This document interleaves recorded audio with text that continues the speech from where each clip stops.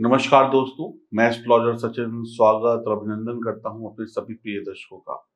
कैसे हैं आप? उम्मीद करता हूँ बहुत अच्छे होंगे। हम बात करने वाले हैं 15 से 21 के मध्य की, यानी 15 से लेकर 21 जून के मध्य आपका महीना कैसे बीतेगा, आने वाले सात दिन कैसे बीतेंगे, यह जानकारी चंद्र राशि और नाम राशि पर आधारित होगी।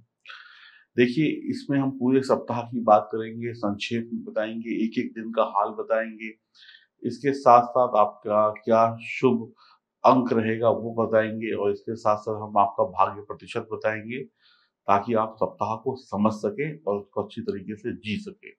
और सप्ताह का एक ही उपाय बताएँगे जिस उपाय को करके आप जीवन में तरक्की पा सके। तो आइए जानते हैं कि आपका आने वाला सप्ताह कैसे बीतेगा। सभी बारह राशियों की चर्चा करेंगे अलग अलग वीडियोज़ होंगे अलग अलग राशियों के लिए। आपका जन्मदिन है, आपकी शादी की सालगिरह है, इस सप्ताह में तो आपको बहुत बहुत मुबारक और शुभकामनाएँ।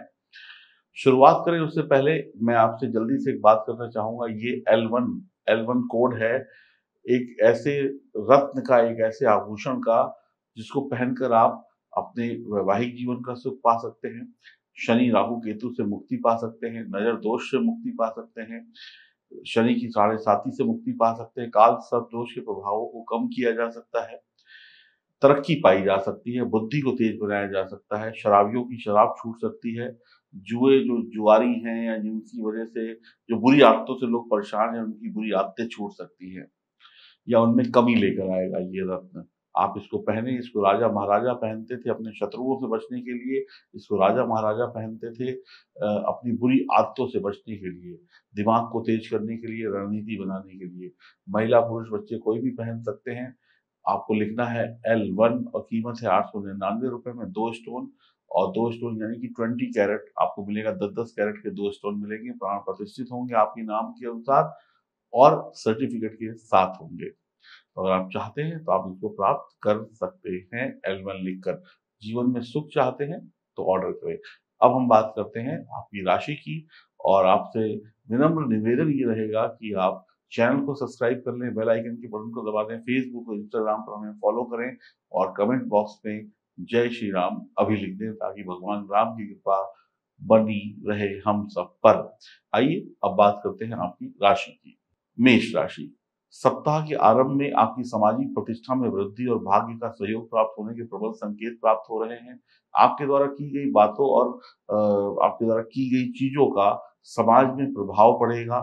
समाज के लोग आपकी बातों का अनुसरण करेंगे। सप्ताह के मध्य भाग में कुछ लोग छुट्टियों को एंजॉय करके घर वापस आएँगे और कुछ लोग छुट्टियाँ बिताने के लिए अलग अलग जगहों पर जाएँगे। तो इन दोनों चीज़ों में आपको लाभ होगा। जो लोग वापस आएँगे, उनका भी वक्त अच्छा बीतेगा। जो लोग जाएँगे, उनका भी वक्त अच्छा बीतेगा। आपका व्यापार बढ़ेगा। आप अपने सामाजिक प्रभाव की वजह से सभी महत्वपूर्ण कार्यों में सफलता प्राप्त करेंगे। आपकी शिक्षा, आपका व्यापार, आपकी नौकरी अच्छी चलेगी। आप अच्छा प्रदर्शन करेंगे। पेशेवर ज़िंदगी में आप आगे बढ़ेंगे। मान सम्मान से जुड़ी हुई कोई अच्छी खबर मिल सकती है। आपको सप्ताह के शेष भाग में आमदनी के नए रास्ते खुलते हुए दिखाई पड़ेंगे। आपके लिए फ़ायदेमंद वक्त होगा। अब हम बात करते हैं एक एक तारीख की। पंद्रह जून से शुरुआत करते हैं।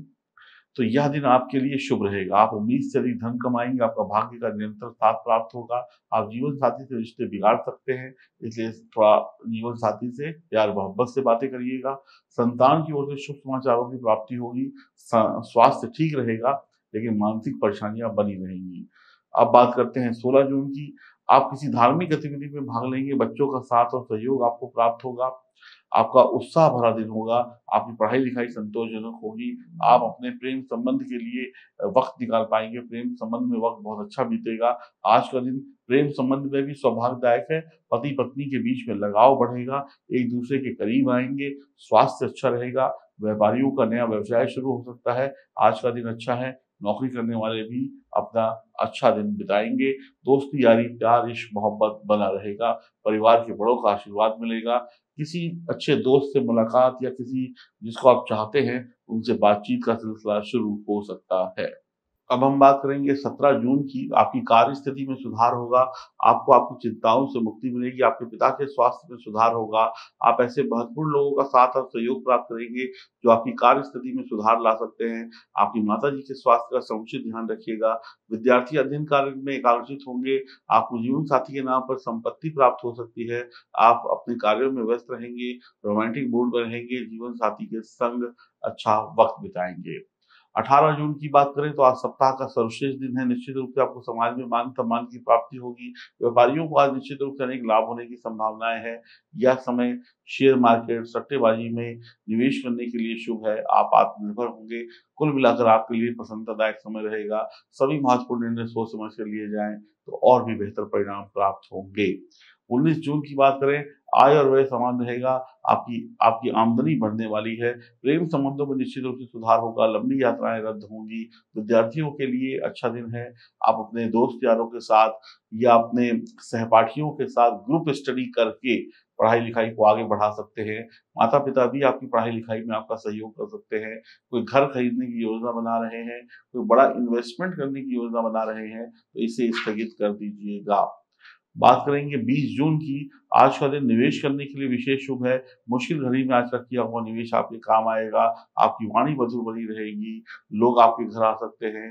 धन कमाने की अप्रत्याशित संभावनाएँ बन रही हैं। आप एक दूसरे का स्वागत करिएगा।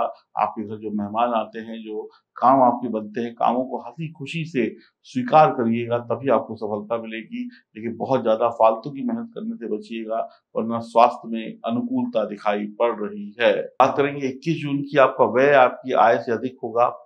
आपके व्यर्थ के धन खर्च से आपको बचना होगा, वरना आर्थिक संकटों का सामना करना पड़ सकता है। छोटे भाई बहन आपको नुकसान पहुँचाने की चेष्टा कर सकते हैं।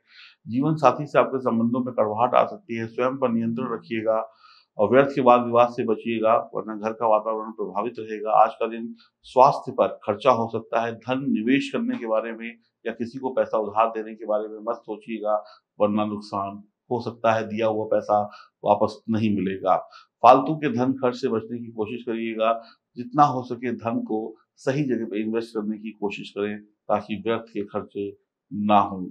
आपके बच्चे पढ़ाई लिखाई में अच्छा करेंगे, बच्चों का साथ मिलेगा, परिवार में मान सम्मान बना रहेगा। तो ये थे आपके सात दिन जो आपको क्या परिणाम दे रहे थे, उनके बारे में मैंने आपको संपूर्ण जानकारी दी। अब उपाय क्या करना है? सबसे पहला उपाय ये है कि आप लोग मेष राशि के हैं तो आपको माँ सरस्वती की आराधना करनी है और हनुमान जी की आराधना करनी है। हनुमान जी के मंदिर जाइए, हनुमान जी को लाल रंग का जो कपड़ा होता है, जैसे, जिसको अंगोछा बोलते हैं या टॉवेल बोलते हैं, कोई भी जो गले में डाला जाता है, वो हनुमान जी के गले में डालिए और हनुमान जी से नमस्कार करिए, आशीर्वाद लीजिए हनुमान चालीसा, वहीं मंदिर में खड़े होकर पढ़िए।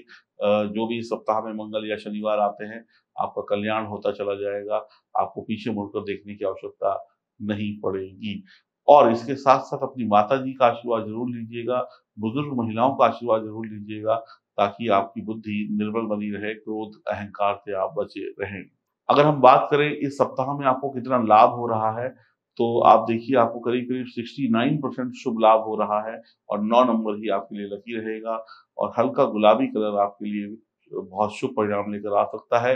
आप इस सप्ताह में अगर आप शादीशुदा हैं तो अपनी पत्नी को चांदी का कोई आइटम गिफ्ट ज़रूर करिएगा, जो भी उनको चाहिए हो, उस तरीके की चीज़ आप आइटम गिफ्ट करके पत्नी का प्यार और सहयोग और किस्मत को बुलंद बना पाएँगे। इतना कर लीजिएगा, ये सप्ताह और भी बेहतरीन हो जाएगा।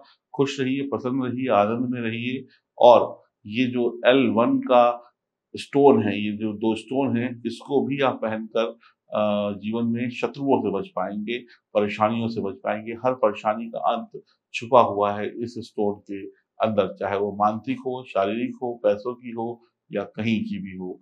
हरिओम, नमस्कार।